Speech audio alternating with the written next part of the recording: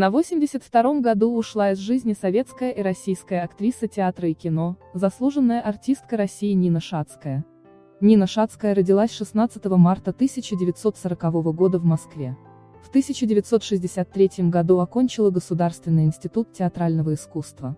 С 1964 по 1993 служила в театре на Таганке, после чего играла также в Содружество актеров Таганки и в театре школы современной пьесы. Снималась в кино. В 1990-м исполнила одну из главных ролей в драме «Сукины дети».